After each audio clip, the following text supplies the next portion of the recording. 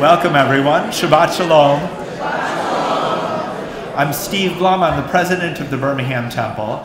Uh, my wife Stephanie is on the board of the SHJ here with her team celebrating the 50th anniversary of the SHJ. So, welcome to our guests. My two children, Ryan and Rebecca, are in the post mitzvah program, which is a component of the Birmingham Temple's Spinoza Youth Education Program. So our family is really happy to be part of the Birmingham Temple, welcoming you all here tonight.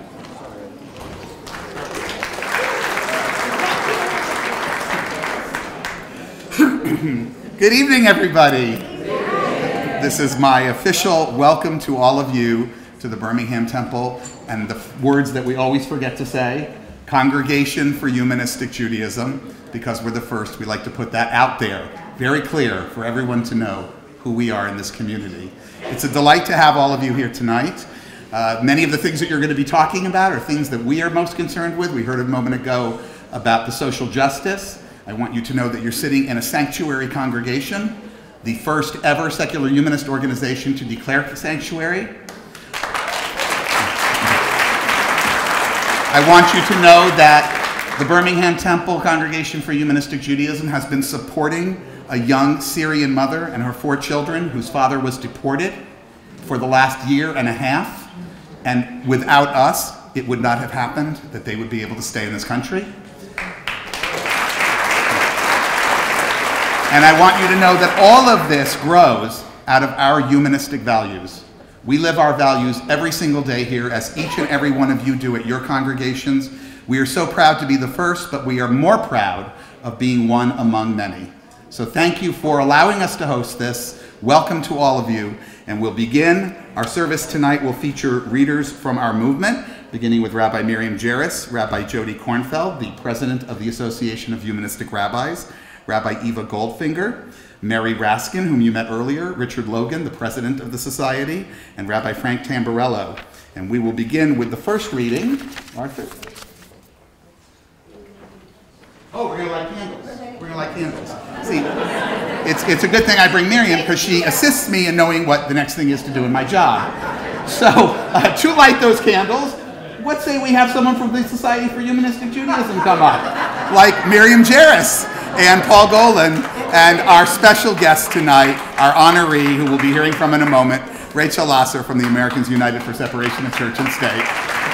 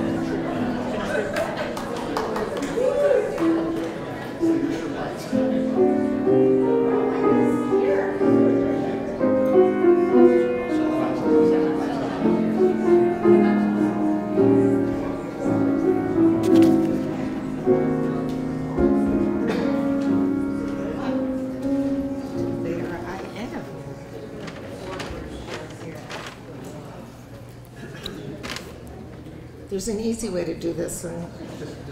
I know, I am bending it. There it is. Berochim Habaim, welcome, and Shabbat Shalom. Please join me responsively. We gather on this Shabbat as a community of believers. We believe that Judaism is the entire experience of the Jewish people. We believe in the value of celebrating Jewish culture. We believe that all those who choose to celebrate with us are part of our community. We believe that being Jewish together strengthens and enhances our humanistic Jewish experience. May this Sabbath be a time of peace and rejuvenation. This is a time of transition. We move from our everyday week to the experience of Shabbat. We turn from the concerns, excuse me, of the outside world and become quiet and peaceful. We live moment in this time create a community of Jewish believers. Let us pause and take note as we begin the journey of this Shabbat. Uh,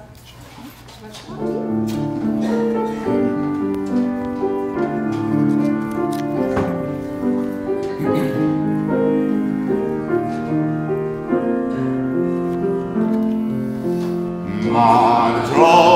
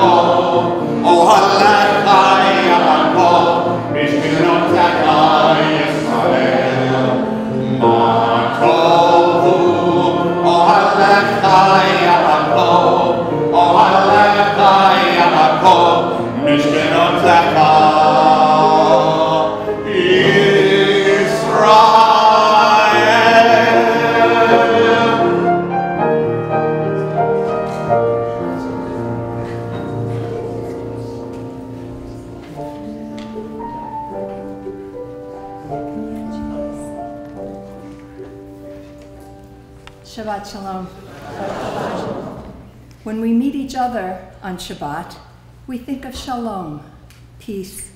It's right there in the greeting. Shabbat has always been a symbol of peace. Our ancestors called it a taste of the world to come. The peace that they sought to create on Shabbat teased them with hopes that such calm might one day prevail throughout the world. Perhaps it was just a fantasy, but it gave them comfort nonetheless. Today we understand that if we desire such a world, it must come through our own work. Perhaps Shabbat can remind us of that. Shabbat Shalom. May we all enjoy a Sabbath of peace.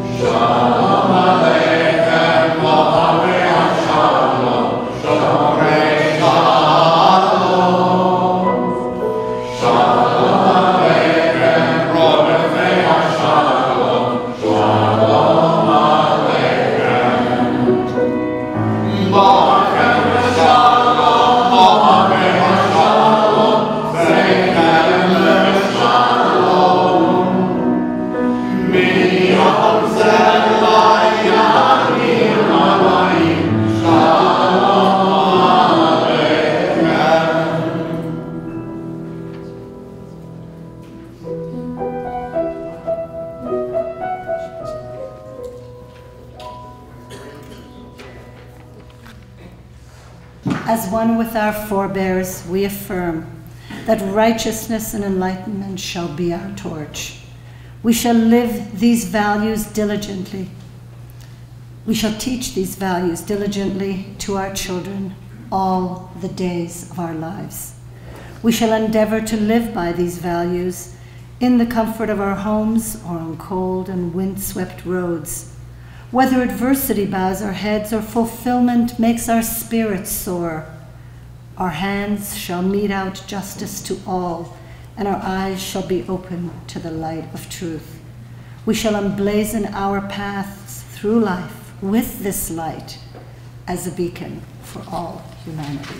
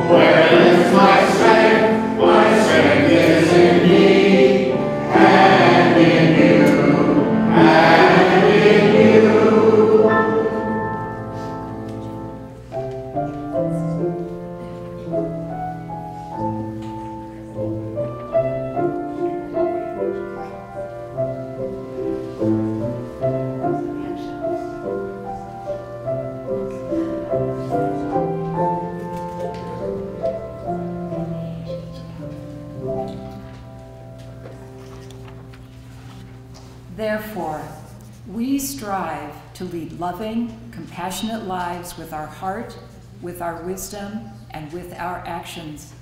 These words we inscribe in our innermost heart. We aspire to practice them day and night, teaching them diligently to our children through our words and especially through our deeds, so that the next generations learn to review, revere, and celebrate life.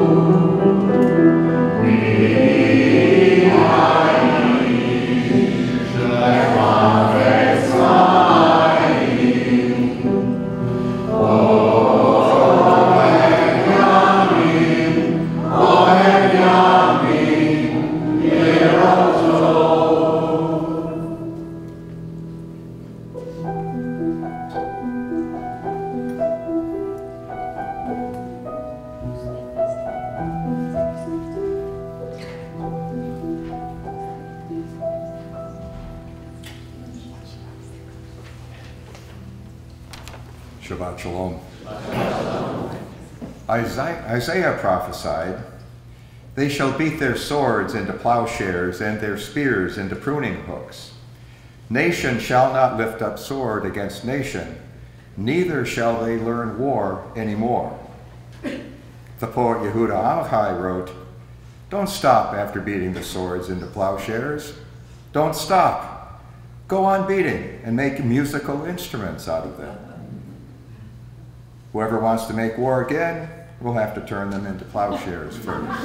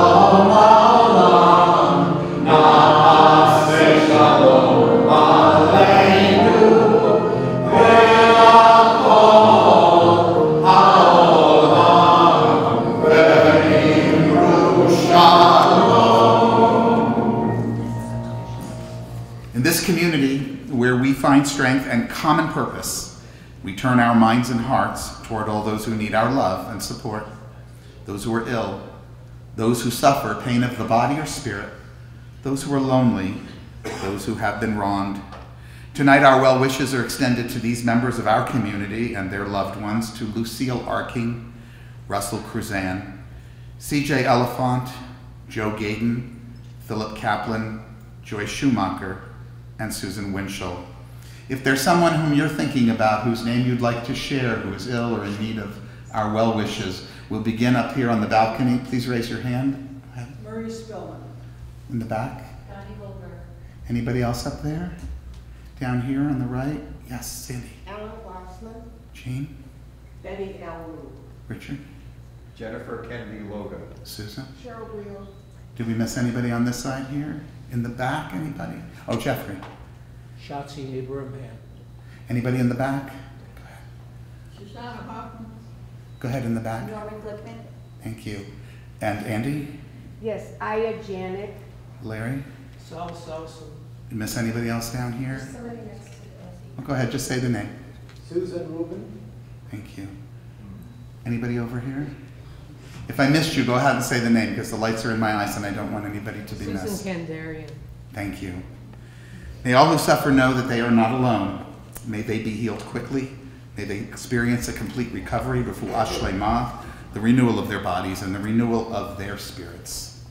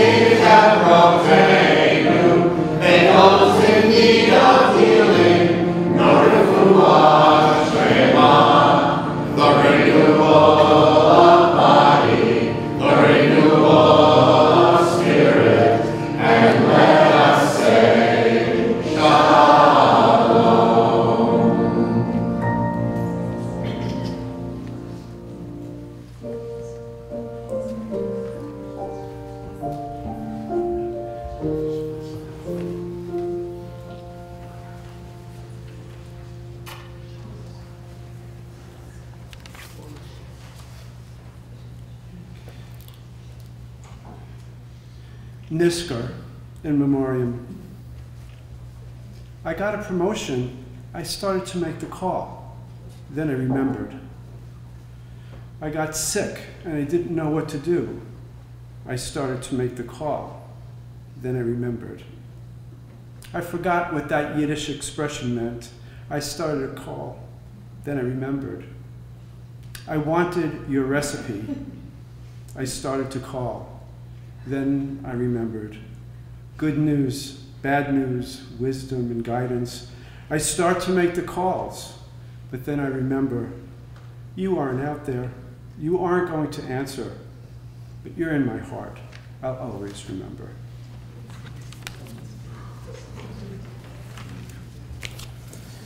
Our thoughts turn to those who are no longer with us, our own loved ones, those whom our friends and neighbors have lost, the martyrs of our people whose graves are unmarked, and those of every people and nation whose lives have been a blessing to humanity. As we remember them, we meditate on the meaning of love and loss, of life and death. We recall now our loved ones whom death has recently taken from us, those who died at this season in years past, and those whom we've taken into our hearts with our own.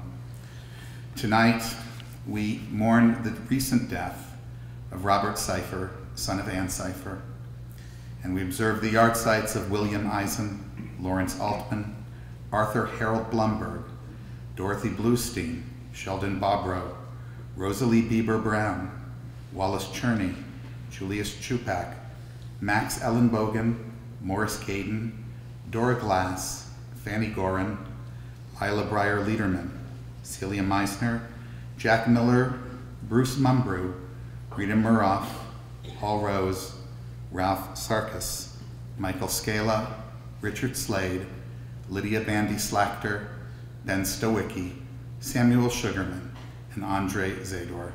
Again, as we did earlier for those who are ill, if there's someone whom you're remembering whose name you'd like to add to our list, we'll begin here on the balcony. Anybody here? Yes. Cousin Lois Glass, who had died a week ago, and Reba Waslow, it's my mother's short site tonight. Condolences to. Anybody else up here? Yes. Bert Snyder.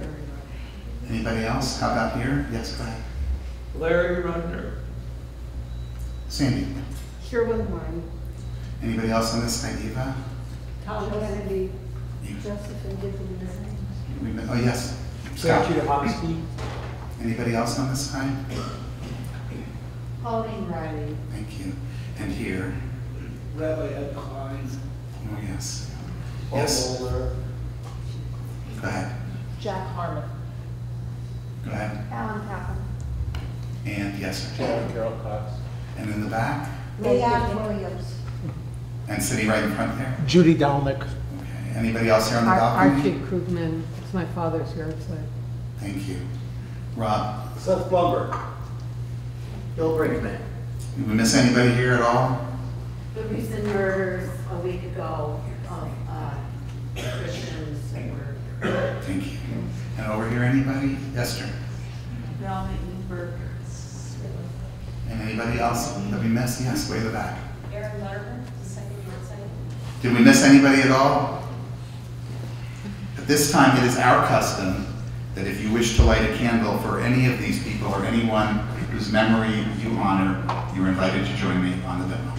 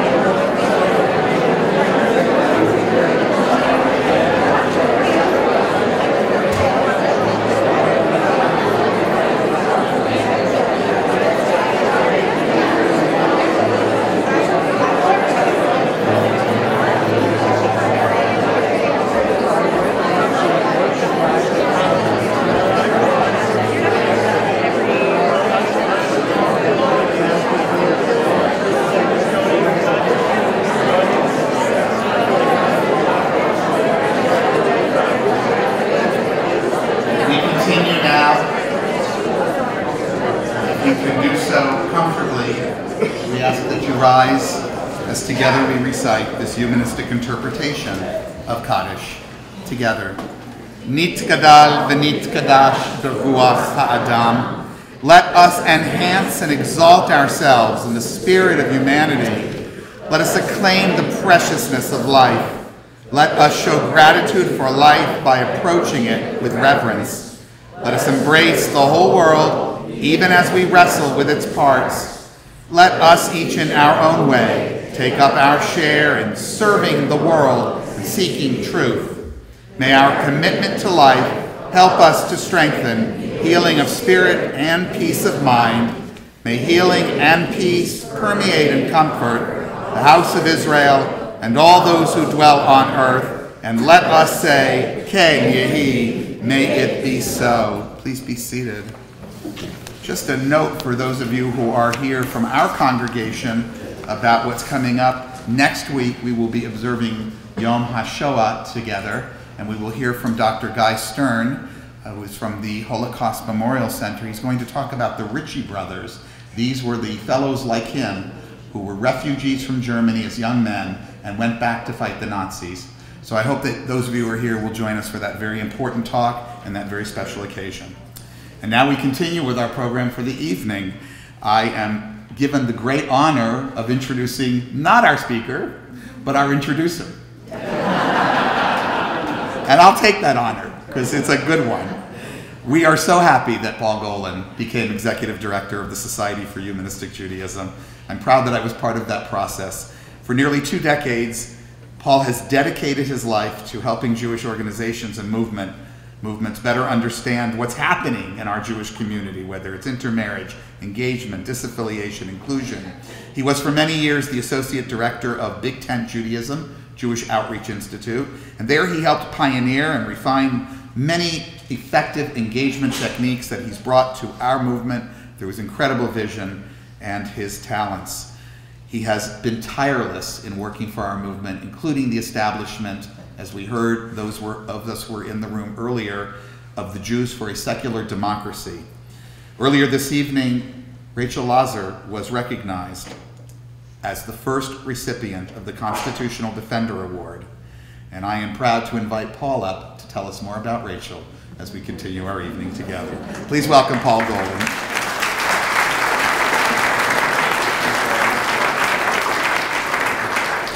Shabbat Shalom. I'm now going to introduce the real introducer. No, I'm just kidding. I didn't, I didn't, I didn't know I was getting the whole thing. That's great. Uh, it's an honor for me to introduce Rachel Laser, President and CEO of Americans United for Separation of Church and State. Americans United is an organization that I'm proud to be a member of. And uh, frankly, I think all humanistic Jews, and really all Jews, should support, and here's why. So many of the societal issues we care about today directly relate to defending the wall between government and religion, from LGBTQ equality to reproductive rights to even climate change policy. And I'll let Rachel speak more about the specifics, but what I want to share is humanistic Judaism's connection to it. Humanistic Jews are a double minority. As Jews, we are part of a minority religious group. Only about 2% of Americans identify as Jewish. And as openly secular Americans, we are part of another minority, although a growing minority. Polls find that about a quarter of all Americans now don't identify with a religion. And that's a significant increase from just a decade ago. Of course, not being affiliated with a religion doesn't automatically mean secular, but it suggests secular Americans are increasing. But it's still easier to be openly secular within the Jewish community than in the wider American society.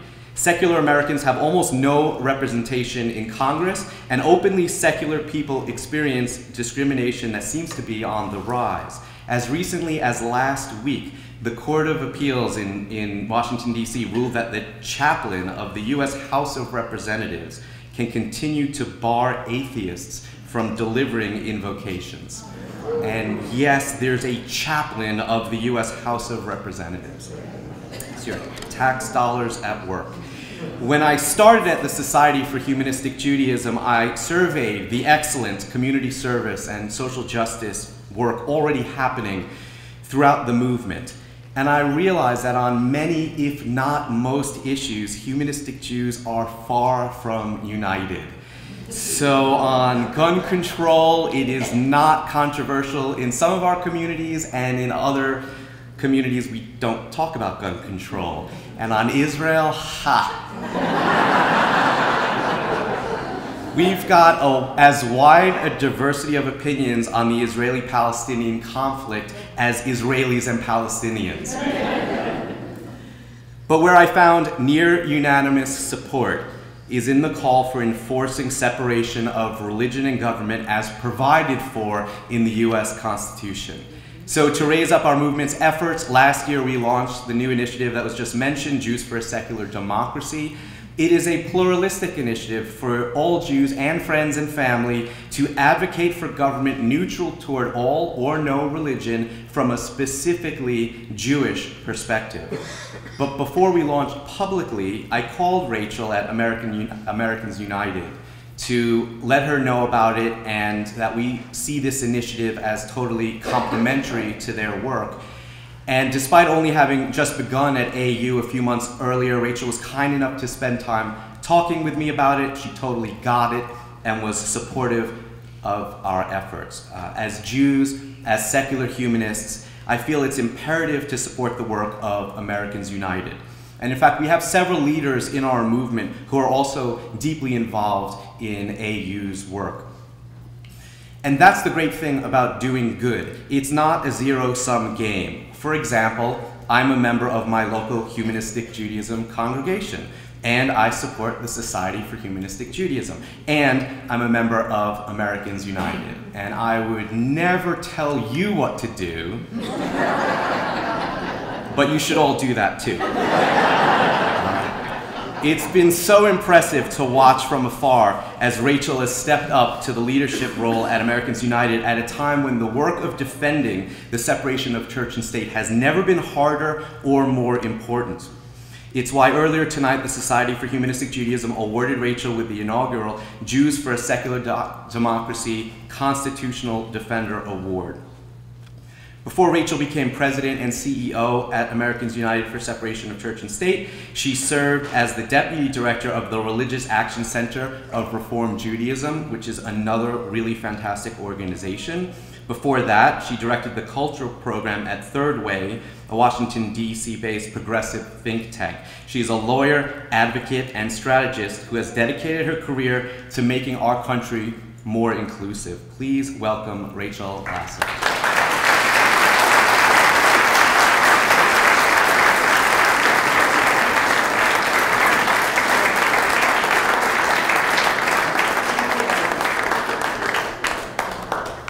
Shabbat Shalom. I would like to start by reading you a quote. The right to believe or not believe is the most fundamental of freedoms.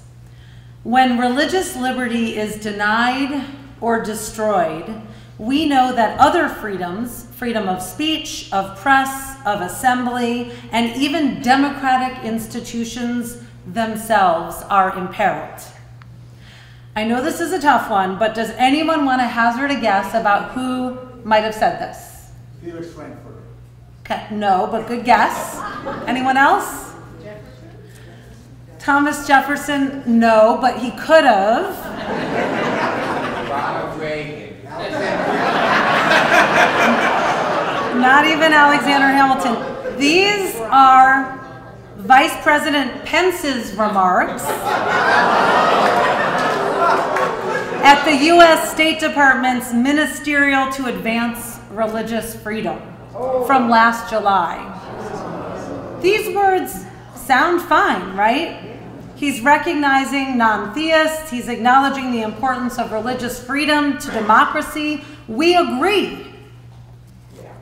Less surprising is how Pence's speech ends with a declaration that belief in God is what gives America freedom. Quote, For as the Bible tells us, where the Spirit of the Lord is, there is liberty. So freedom always wins when faith in Him is held high.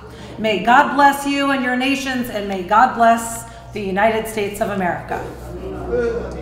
The story I want to tell tonight is about the clever strategy that the religious right and the highest level government officials are using to co opt the term religious freedom to advance their political agenda. It's about the rhetoric not matching the reality. It's an ugly story about the politicization of one of America's most sacred principles and the use of it to discriminate and hurt people. And it's a story about a grave threat to true religious freedom for all Americans. First, because it's so easy to take it for granted and misunderstood in today's political climate, I'll spend a little time reminding us why religious freedom is such an essential right and why you can't have it without the separation of religion and government. Then I'll describe how religious freedom today is under attack and what's worse, how it's being misused to undermine true religious freedom. And finally, I'll talk about the national movement we need to build in order to safeguard religious freedom for generations to come and how you can be part of it. And you already have started with this wonderful project. But let's start with the basics. Because thanks to all the misinformation spread by leaders like Vice President Pence, everyone living in America today could use a refresher about what true religious freedom is and just how core it is to our country. First, a short history lesson. Historians, as well as Supreme Court justices, widely regard the Virginia statute for religious freedom as the foundation of how the framers of the Constitution and First Amendment approached matters of religion and government. Thomas Jefferson drafted the Virginia Statute for Religious Freedom in 1777 to protect those who deviated or dissented from the state sanctioned Anglican Church at that time. It became law in 1785 thanks to the efforts of Jefferson's friend and political ally, James Madison. It's hard to believe that Virginia actually required its citizens to attend Sunday Church of England church services, isn't it? Journalist Frederick Clarkson notes that failure to attend services was the most prosecuted crime in Virginia for many years. But with the passage of the Virginia statute, people were no longer required to worship at a state church. Jefferson emphasized that the aim of this statute was to protect, quote, the Jew and the Gentile, the Christian and Mahometan, the Hindu and the infidel of every denomination.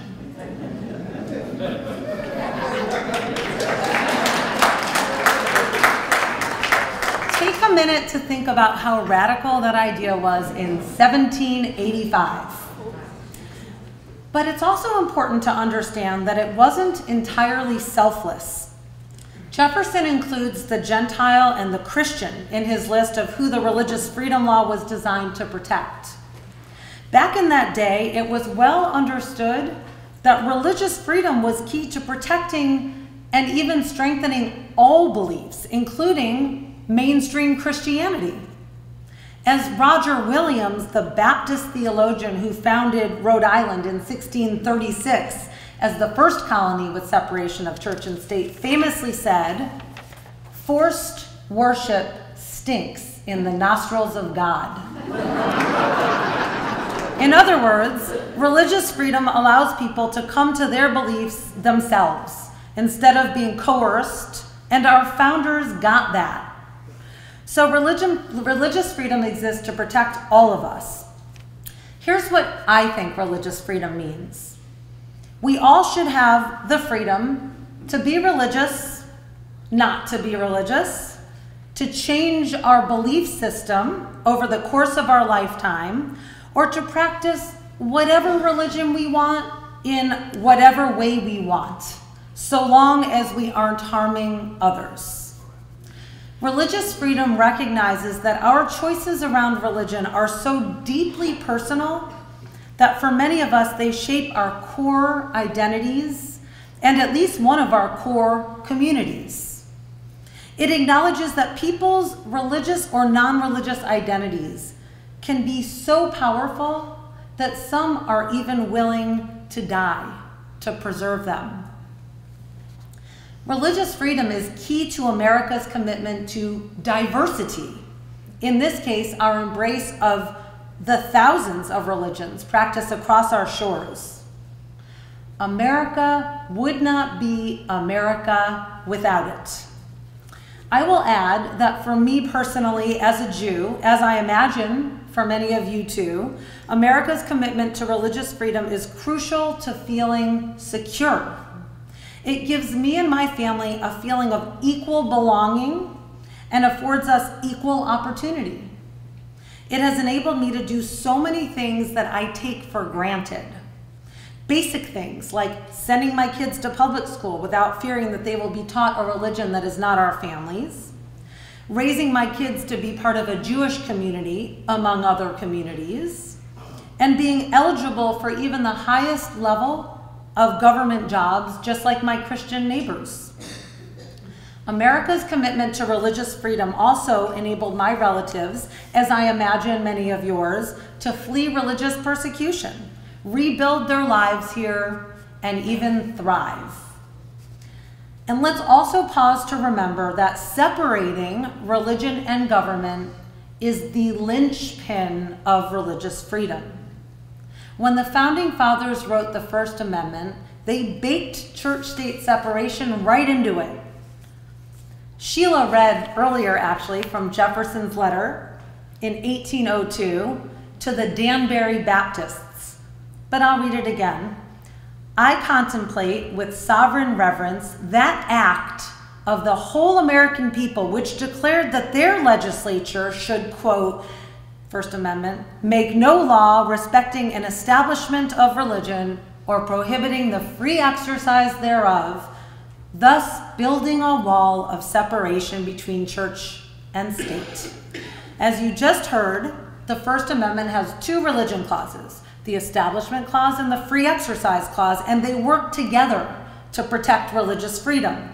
The Establishment Clause, which is really about the government not establishing religion, puts limits on the Free Exercise Clause. No one can exercise their religion such that they're using the government's power to impose their religion on the rest of us.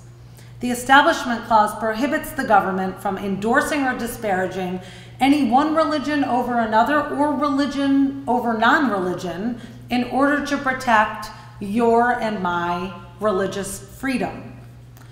I hope you'll agree with me that religious freedom and church state separation should be a priority for all of us. But if you need more convincing, allow me to paint a grim picture about how the religious right, in partnership with the Trump Pence administration, is tearing down the wall, separating religion and government, and misusing our cherished principle of religious freedom to advance a regressive social and political agenda that actually undermines your and my religious freedom.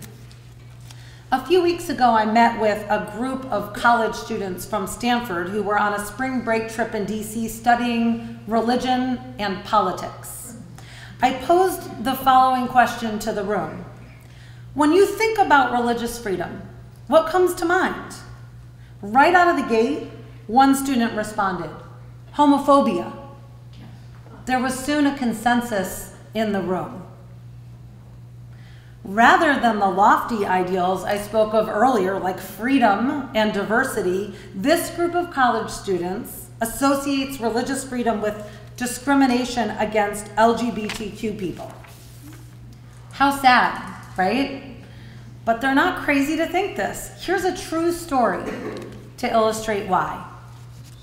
Amy Maddonna lives in Simpsonville, South Carolina with her husband and three kids two of whom are autistic. Sitting in her living room earlier this year, I witnessed firsthand what a patient and devoted mom she is. Amy's dad grew up in the foster care system at a time when foster parents weren't well vetted, and he had a rough time.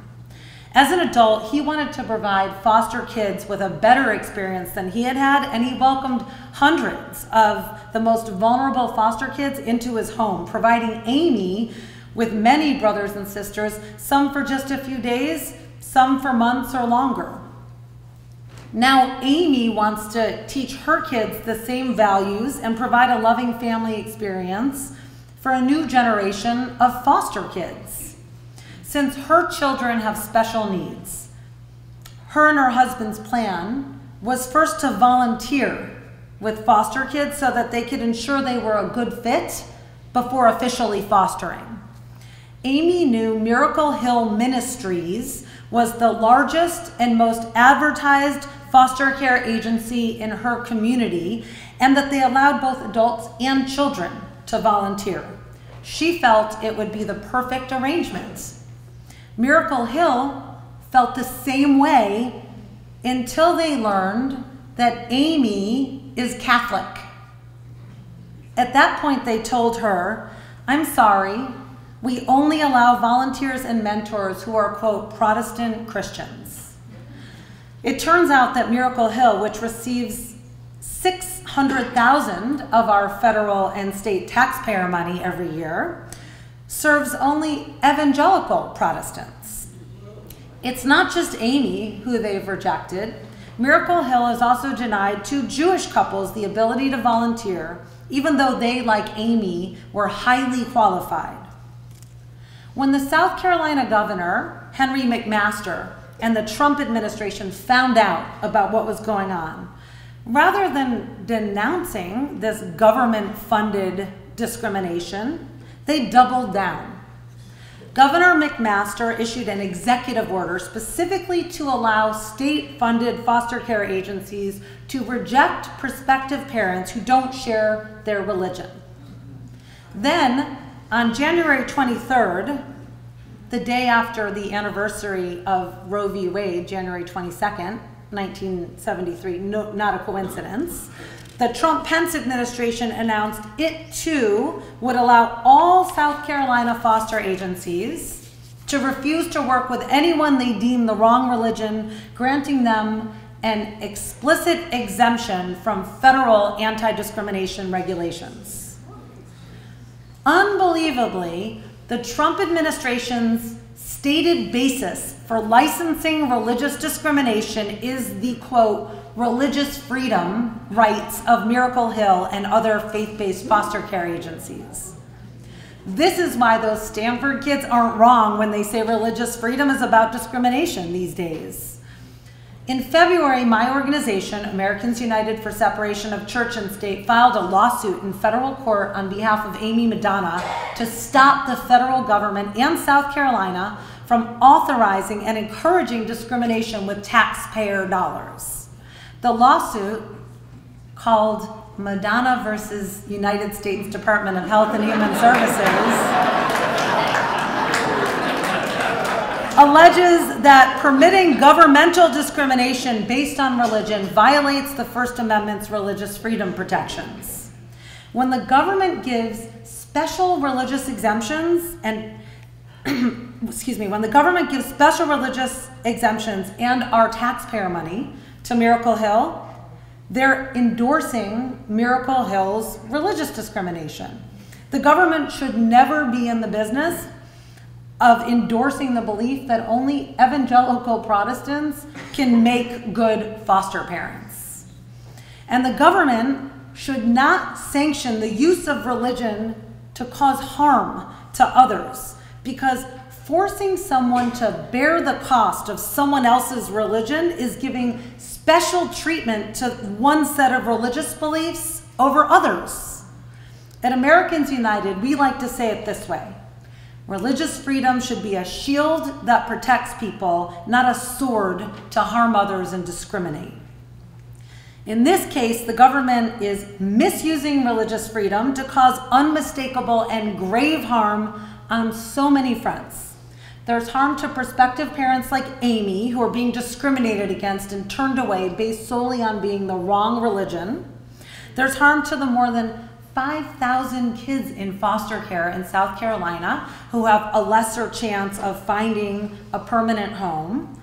And there's harm to the kids placed by these agencies in homes where evangelical Christianity is imposed on them, whether they share the faith or not. And let's not leave out the harm to you and me because our tax money pays for this. I know I'm preaching to the choir when I tell you that President Trump and Vice President Pence are pandering to far right evangelical Christians and their political agenda because they form the base of their voting bloc. It's clear from the data, Trump maintains around a 70% approval rating among white evangelicals, which is nearly 20 points higher than among any other religious group. As Trump told a group of conservative evangelical Christians he invited to the White House last summer for a dinner in their honor, quote, the support you've given me has been incredible, but I really don't feel guilty because I have given you a lot back, just about everything I promised. And as one of our great pastors just said, actually, you've given us much more, sir, than you promised. And I think that's true in many respects. Thus, not surprisingly, so many of his actions that Trump labels, labels as being about protecting religious freedom are really about elevating one narrow fundamentalist interpretation of Christianity and misusing religious freedom to harm others, usually people in the LGBTQ community and women. To name just two more of countless examples, in January, the Trump administration released a final rule allowing all bosses and universities to deny women access to birth control promised them under the Affordable Care Act if they have a religious or moral objection. We have sued the Trump administration and Notre Dame to challenge this rule. Any day now, this is the second one, look out for this one. The Department of Health and Human Services is supposed to release a final regulation that would allow anyone associated with the healthcare system, doctors, healthcare workers, hospitals, and anyone working at them, including receptionists and janitors, to refuse to participate in any healthcare for which they have a moral or religious objection. This would include life-saving services like ending an ectopic pregnancy, this rule could even allow a doctor to attempt to deny fertility treatments to an interfaith couple or a nurse to refuse to treat a transgender patient who has the flu. We're prepared to take action.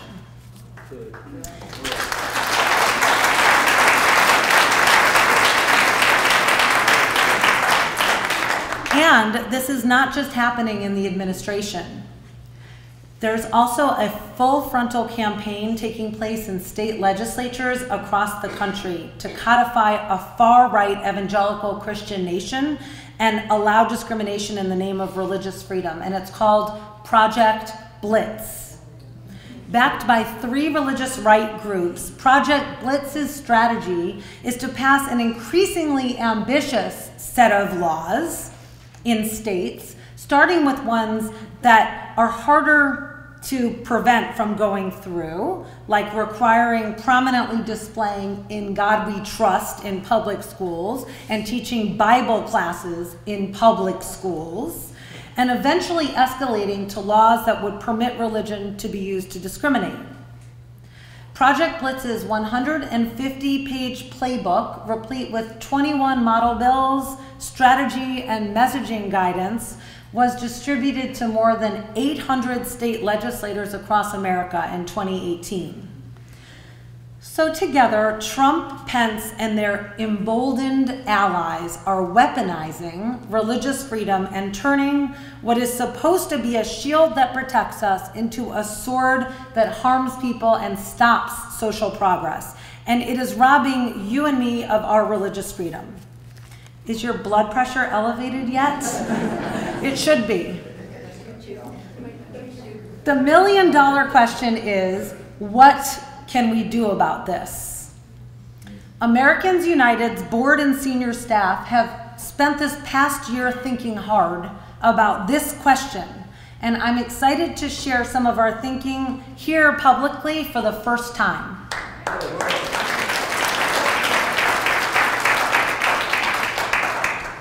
We know what we want. An America where every, this is from our vision statement, an America where everyone can freely choose a faith and support it voluntarily or follow no religious or spiritual path at all, and where the government does not promote religion over non religion or favor one faith over another. In this America, the government is never in the business of imposing one set of religious beliefs on the rest of us or giving special privileges to any one religion or allowing religion to be used to nullify protections for vulnerable communities of people and to stop America's progress towards achieving our ideals. We know that the clock is ticking, with the opposition chipping away at our freedom every day in our private lives, workplaces, schools, government services, and healthcare systems. But too few Americans know or think about what religious freedom is and actually understand how foundational it is to all of our lives and to our country. And similarly, not enough Americans are aware of the extent to which church state separation is under attack today. So the answer is we have to make more noise. We have to remind people about the importance of church state separation, take back the meaning of true religious freedom, become more visible, and ignite a national movement that insists on separating religion and government. Yes, we need to continue to sue in court and to shape public policy in Congress and across the states, and Americans United will never stop doing this with your help. But we must make sure that we are also inspiring younger people who are tirelessly and passionately fighting for the future of our country and who need to put church state separation at the top of their priority list. And to do this, we must connect the dots between church state separation and other key issues that they care about, like racial justice, LGBTQ equality, reproductive freedom, climate change, etc. And to succeed in building a national movement, we know we need to broaden and diversify our supporters. In addition to targeting younger adults, we must do a better job of reaching people of color who will soon be a majority in this country. We will build black and brown allies in our youth focused work and also when we strengthen our already extensive ties to the religious community. We heard earlier the religious nones, N O N E S, are growing in America and they will always form a crucial block of our supporters. At the same time, with 70% of the country still identifying as Christian, we need to continue to build Christian allies alongside our religious minority ones and bring Christians, religious minorities, and the non religious together to advocate for church state separation. And I'm really proud to say that just a few months ago, uh, I got the president of the National Council of Churches, which is an umbrella group for 38 different Christian denominations, to join the board of Americans United for Separation of Church and State.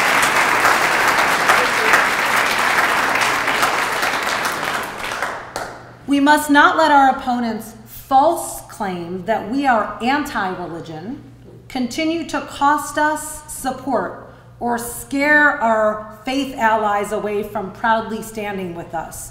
We know that church state separation is good for religion, and many religious people agree. So that we are speaking in the most effective ways to these different audiences, Americans United will conduct our first ever public opinion research. This research will give us insights into what modern day messages work to reach the people we must mobilize. Americans United plans to start fortifying our national movement by creating state networks in 20 states over the next five years. Our state networks will engage supporters and young people with digital advocacy and offer them a ladder of engagement. Because if we know one thing already, it's that, and look around, younger Americans are not big joiners. So we will test strategies to build these modern day networks as we go. In the end, we know we will prevail because we are fighting on the side of American values like freedom, diversity, equality, respect, and even patriotism. But we know we also have a secret ingredient that our opponents do not. And quite frankly, it's you. Folks like you who get our issues so intuitively have been and will continue to be the bedrock of the movement we will grow and strengthen. So if you haven't already, please do join Americans United and get your friends to do the same. You will be supporting important lawsuits like the Aimee Maddonna one, critical, proactive, and defensive work in Congress and state legislatures, and the movement building we will be engaging in over these next five years and beyond. You will also get our awesome magazine with a personal column from me each month. We will plug you into taking action in your state and federally and keep you up to speed on developments. And if you aren't a joiner, then as a start, please consider following us on Twitter, Instagram, or Facebook at Americans United. We need you to help lay the bricks for this movement from the ground up in any way you can. The truth is, each of us can use our voice and be effective advocates in ways that we are most comfortable and uniquely positioned to do. And we all need to make an effort to take this issue out of the realm of the strictly abstract and make it more personal and human, like the Aimee Maddonna story does. To that end, please indulge me one final time. Could everyone here please take a moment to think about why religious freedom and separating religion and government is important to you. Maybe you have a personal story of your own to share or one to tell about a family member. Perhaps you have thoughts about why religious freedom is important to you as a humanistic or secular Jew, or as an American Jew, or just as a Jew, or perhaps just as an American. And when you're ready, turn to your neighbor or neighbors and share your story. Practice. Practice making noise, and then give your neighbor a few minutes to tell you why religious freedom is important to them. And after that, we'll open it up to questions. So thanks again for the honor of receiving the award and being with you.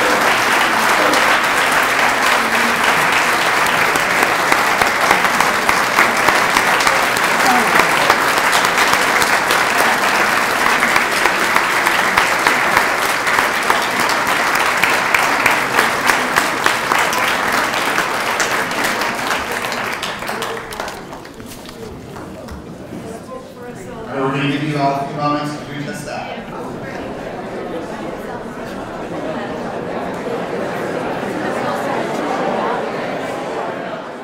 All right, everybody, if you could kindly uh, finish up your discussions. Uh, those of you who are members here know that the way we do questions is I get to decide who asks them. And so, I'm going to bring you one of my dear friends, Marty Bernstein. Well, there's, that's what you're watching.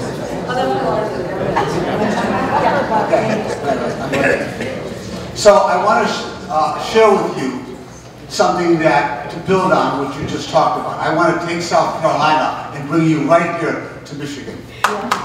So last year, the Republican legislature passed a law that said that Catholic adoption agencies could use freedom of religion as a way to deny LGBTQ uh, families who wanted to adopt. In November, we had an election here, and we got a new attorney general who is an attorney who won the same-sex case in the, in the US Supreme Court, Dana Nessel.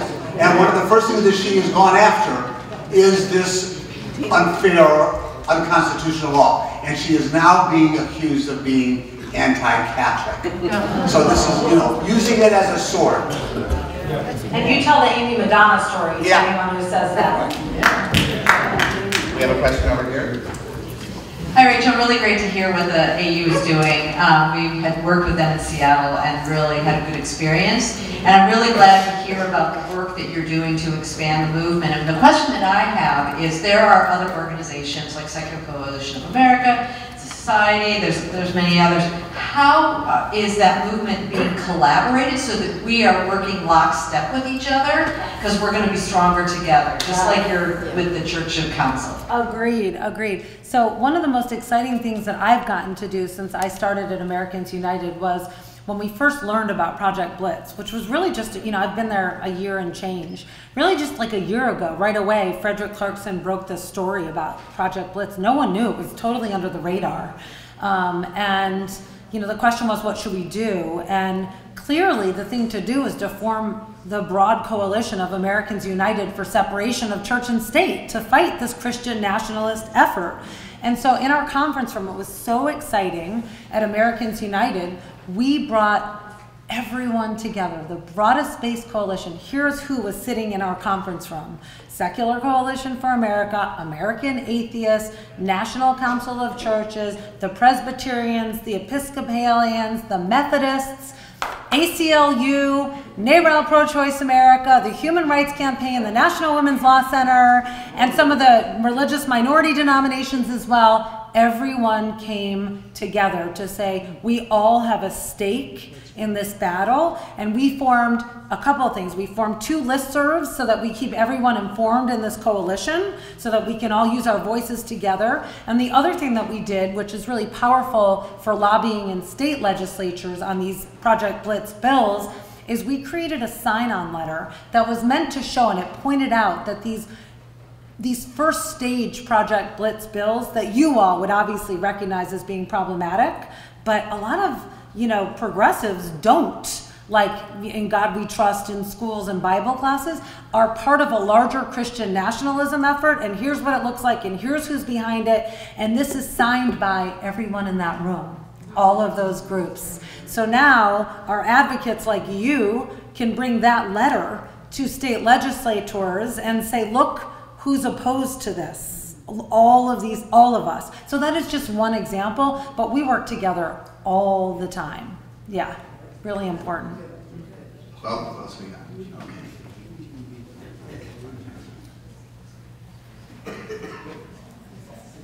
Hi, I was just, I'm sorry, I didn't realize it was so loud. Um, I was just wondering if you've done any outreach to, um, I don't know, military generals or anyone in the military at all, because I feel like in some way, um, a lot of the groundswell of this sentiment really comes from, no, I don't know if it's the military itself and sort of the indoctrination that happens there, or if it's just who it tends to attract, the regions of the country who tend to join and who then go out and carry out the sort of indoctrinated message that they've gotten in their four plus years there. What, what is the entry point for influencing that in some way?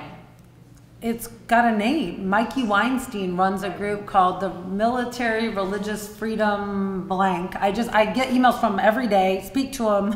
Just spoke to him last week. We're gonna get together in Washington. He came for the Bladensburg Cross oral argument before the Supreme Court. Now his group spends a lot of time defending religious minorities who serve.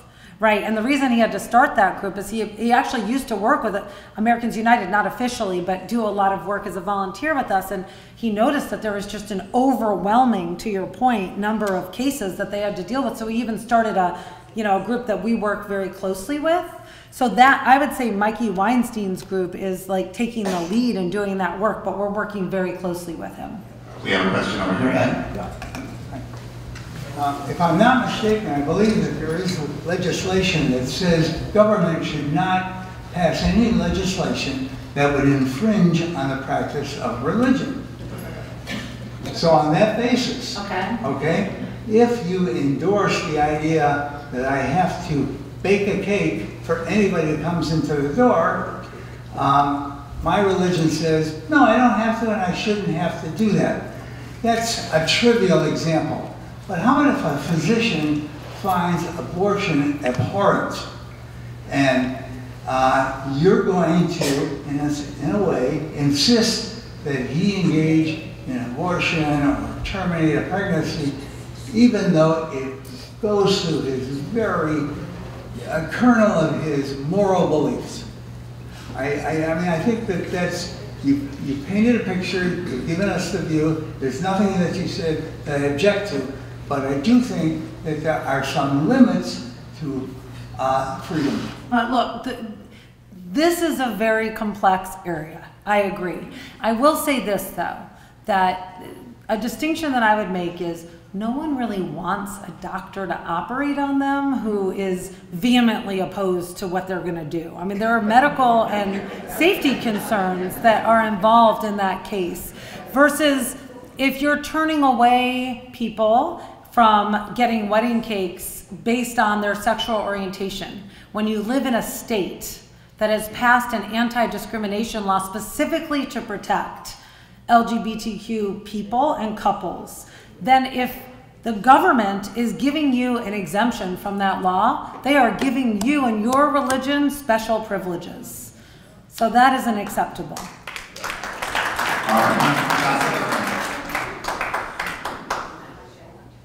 Uh, my name is Doug Marshall. I'm director of the Reason Station in the Warren, Michigan City Hall. First, I'd like to thank Americans United for the legal help on getting me into the Warren City Hall. I appreciate that. But secondly, I'm here to make a little noise. This next Thursday, May 2nd, is the National Day of Prayer. The city of Warren is having a gigantic event. I would like to invite everyone in the congregation to come to the Warren City Hall for 12 uh, noon next Thursday, May 2nd, and make a sign on separation of church and state to let the city know that not everybody agrees uh, in prayer. Thank you. Lots of efforts happening locally. I know we have a question from over here. Joel. Hi. Uh, I'm Joel Brown. Uh, question, have you contacted the ACLU, the American Civil Liberties Union, on this issue? They have about a million and a quarter members. Sorry. Oh, did you say? Well, uh, If I didn't, I should have. Yeah, we work with them all. The ACLU was in the room on Project Blitz. I did mention that. But yes, they are our partners in crime constantly, constantly. Okay, Renee. Can you talk a little bit about the role of the ultra-Orthodox Jewish community, please?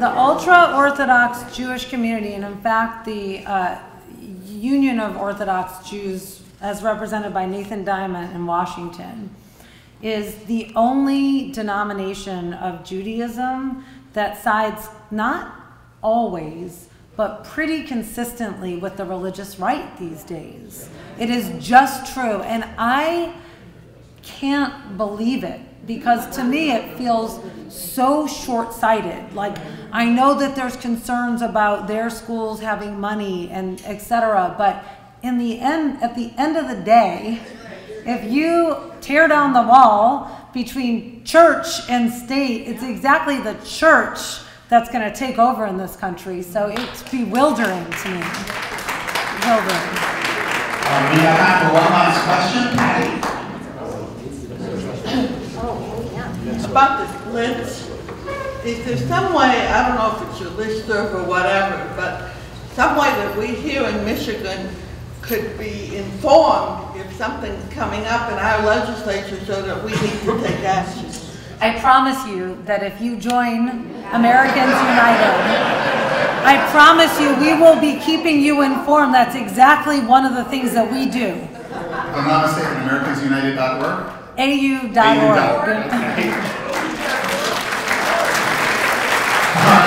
Uh, Rachel's going to be hanging around for the Oneg Shabbat. You'll have plenty of opportunities to speak to her. Uh, we're going to conclude now with Od Yavo Shalom. And uh, I want to especially thank Ezra Donner, our music director. A big hand for him. And thank you all for being here tonight for this wonderful celebration.